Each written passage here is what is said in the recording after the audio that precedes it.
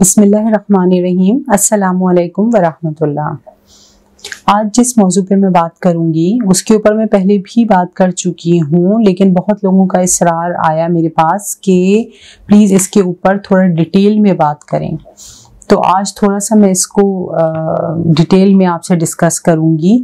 वो है teenage anger के जो बच्चे 15 से 20 साल की उम्र में, जिनके अंदर एक्सट्रीम एंगर इश्यूज़ आ रहे हैं वो उसकी वजूहत क्या हैं और उसको डील कैसे किया जाता है, इन सारी चीज़ों के ऊपर हम बात करते हैं। सबसे पहले तो अगर जब बच्चा गुस्सा शो करता है, वो किन शक्ल में करता है? या तो वो आपके साथ उसी तरह बहस करेगा जैसे कि आप उसके साथ बहस कर रहे हैं। आप अगर चीख के बात कर रहे हैं तो वो आपकी आवाज़ को दबाने के लिए आपसे ज़्यादा ऊँची आवाज़ में बात करेगा। या दरवाज़ा ज़ोर से बंद करके चले जाना, या चीज़ें अगर कोई हाथ में हैं तो फेंक देना, ये सोचे बगैर कि कितना बड़ा नुकसान होगा। या फिर अपने आप को नुकसान पहुंचाना सेल्फ हार्म जिसको कहते हैं, दीवार पे मुक्के मार देना, जिससे खुद उन्हीं को चोट लगती है। या एक्सट्रीम लेवल पे बच्चे अपने माँ बाप पर हाथ भी उठा देते हैं। हाथ उठाना या तो पिंच कर देना, उनको चुटकी ले ली चुपके से या फिर उनको धक्का दे दिया, उनके शोल्डर पे उनको पुश कर दिया। तो इस तरह से भी बच्चे अपना एंगर निकालते हैं। इतनी एक्सट्रीम एंगर आ कहाँ से जाता है? जब बच्चे को गुस्सा आता है तो सबसे पहले, बजाय इसके कि आप बच्चे को डील करें, आपके दिमाग में जो पहला सवाल क्लिक होना चाहिए वो ये कि गलती कहाँ हुई है और किससे हुई है। इतना एक्सट्रीम एंगर पे बच्चा बिला वजह नहीं जाता। उसके बहुत सारे रीजंस होते हैं पीछे जो हमें नज़र नहीं आ रहे होते, जो समटाइम्स डिसअपियर हो जाते हैं, गायब हो जाते हैं हमारी आँखों से ओझल हो जाते हैं, और वो बच्चे के अंदर होते हैं। वो कब और कहाँ से आने शुरू होते हैं, किस एज से आना शुरू होते हैं, मैं उसकी रूट कॉज की तरफ़ भी आपको लेकर जाऊँगी। इसकी दो रीजंस होते हैं। या तो खुद बच्चे का अपना, अपनी नफ्सियात होती है, खुद बच्चे के अपने इश्यूज़ होते हैं, और उसको किसी बात पे गुस्सा आ रहा होता है जो कि वो आके अपने वालदेन पे निकालता है। या फिर पेरेंट्स के अपने बिहेवियर्स अपने रवैये भी कुछ ऐसे होते हैं, जो बच्चे को बॉयल अप करते हैं, या उसको गुस्सा दिलाते हैं।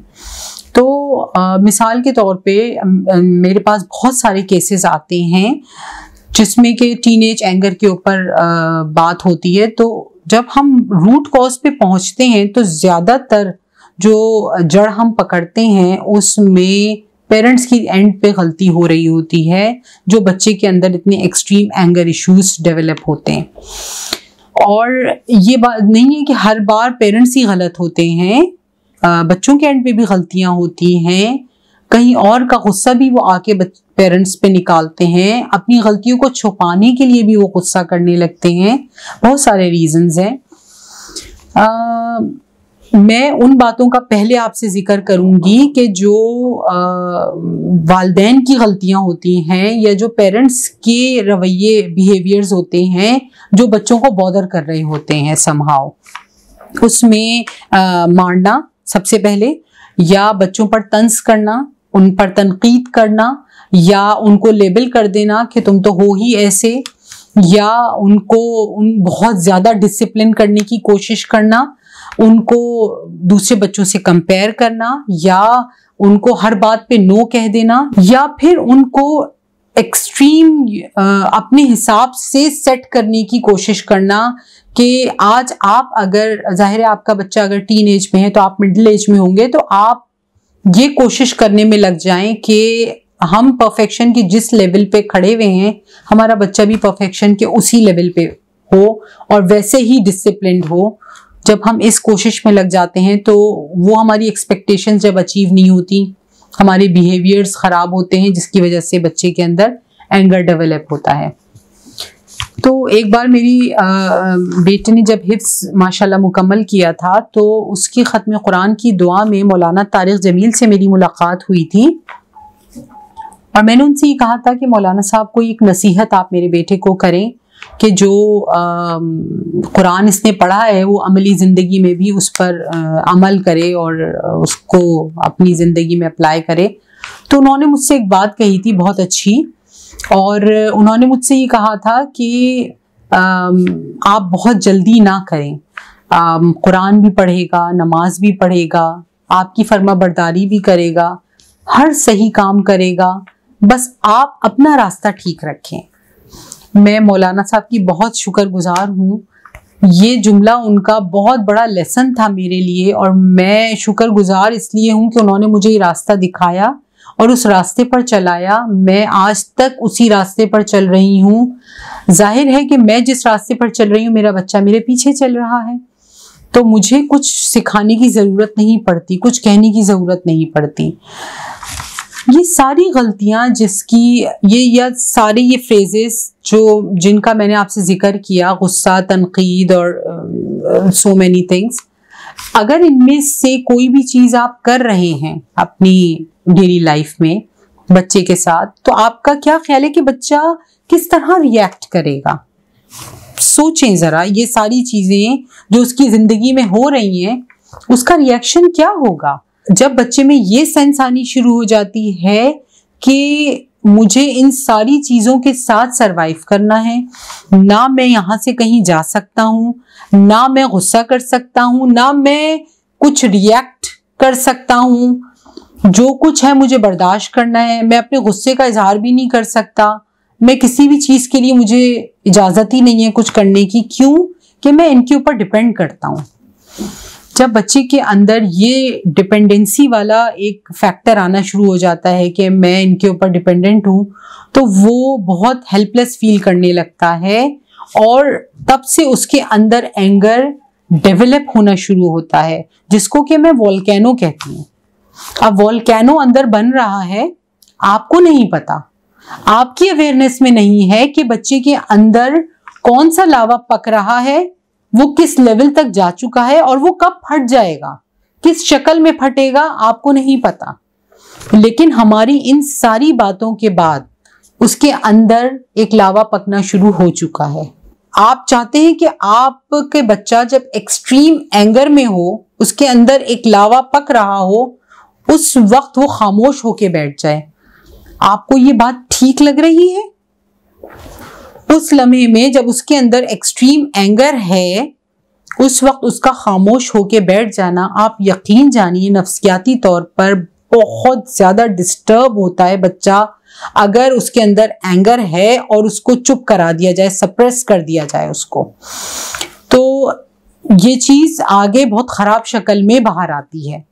अगर आप ऐसा करने में कामयाब हो भी गए हैं कि आपका बच्चा खामोश हो जाता है और आपको पलट कर जवाब नहीं देता। इसका मतलब ये नहीं है कि उसके अंदर एंगर नहीं है। एंगर है, लेकिन वो आपके खौफ की वजह से चुप है। तो और हम ये समझ रहे होते हैं पेरेंट्स के वो कामयाब हो गए अपने बच्चे को फर्मा बरदार बनाने में। ऐसा नहीं होता।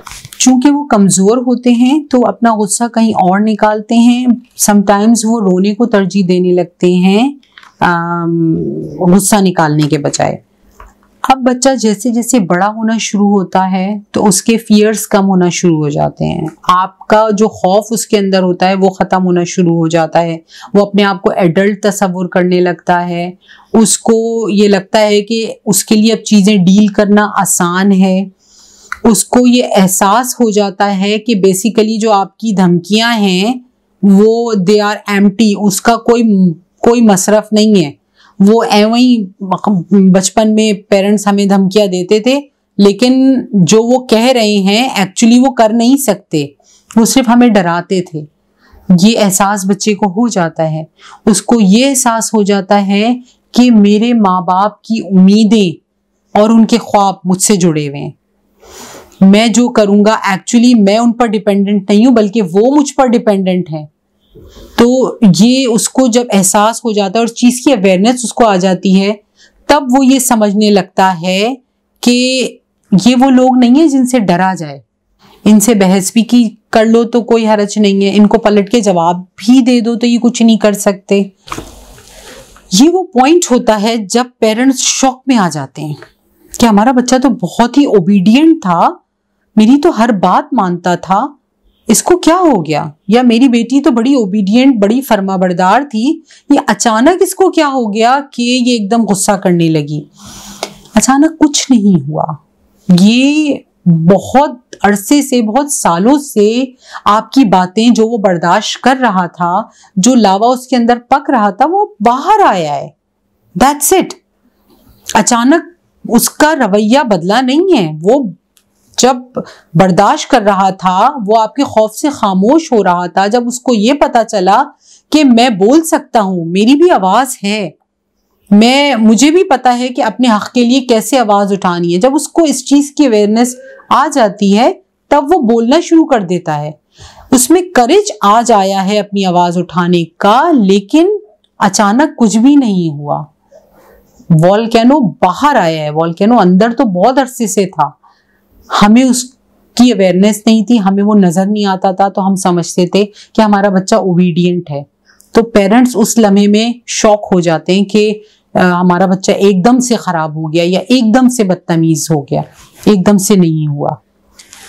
अब दो पॉसिबिलिटीज हैं, या तो आप अपनी इसलाह कर लें, अपनी गलतियों को सुधार लें, अपने गुस्से को कम कर लें तो आपका बच्चा, आप खुद देखेंगे कि आपका पूरे घर का माहौल बदल जाएगा। या फिर आप अपनी गुस्से को कंटिन्यू रखें, अपनी गलतियों को जारी रखें और आप देखेंगे कि ये गुस्सा उसकी शख्सियत का हिस्सा बनना शुरू हो जाएगा। कई बार मैंने अपने लेक्चर्स में ये चीज़ मेंशन की है कि एक से दस साल उसका लर्निंग स्टेज है और 11 से 20 साल उसका ट्रेनिंग स्टेज है। तो इस ट्रेनिंग स्टेज में ही तो असल उसको गाइडेंस की ज़रूरत है। वहाँ पे हम आके उसका हाथ छोड़ देते हैं, हम उसका साथ छोड़ देते हैं। जब उसको रियल असिस्टेंस की ज़रूरत होती है और मदद की ज़रूरत होती है, अपने गुस्से को कंट्रोल किस तरह से किया जाता है, ये किस तरह से वो सीखेगा? हम अपने गुस्से को कंट्रोल करके उसको बताएँगे कि गुस्से को किस तरह कंट्रोल किया जाता है। दस साल से पहले ये चीज़ नहीं सिखाई जा सकती। अब आते हैं सॉल्यूशंस की तरफ़। देखिए दो तीन चीज़ें हैं जो कि, जिसको कि फिक्स होने की ज़रूरत है। एक तो जो फिजिकली हम मैसेज बच्चे को दे रहे होते हैं, एक वर्बल मैसेज हम बच्चे को दे रहे होते हैं, एक नॉन वर्बल मैसेजेस दे रहे होते हैं। फ़िज़िकल मैसेज सिंपल मारना, ठीक है? और जो वर्बल मैसेजेस होते हैं सिंपल उस पर तंज करना, उस पर तनकीद करना। और जो नॉन वर्बल मैसेज होते हैं, वो अपनी आँखों को इस तरह से चढ़ाना अपनी आईब्रोज को चढ़ाना या समटाइम्स um, अपने हैंड जेस्टर्स आपकी बॉडी लैंग्वेज कोई चीज़ हाथ में उसको ज़ोर से पटकना प्लेट अगर आपके हाथ में आपने ज़ोर से ला के टेबल पे रखी ये आप बॉडी लैंग्वेज तीनों चीज़ों से चाहे वो वर्बल हो नॉन वर्बल हो या फ़िज़िकल हो तीनों चीज़ों से मैसेज बच्चे को क्या जा रहा है? माँ गुस्से में है।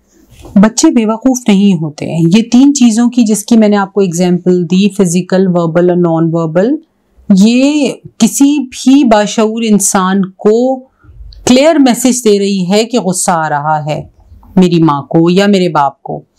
तो बच्चे फ़ौरन सेंस कर लेते हैं इस चीज़ को। इसको फिक्स करने की ज़रूरत है।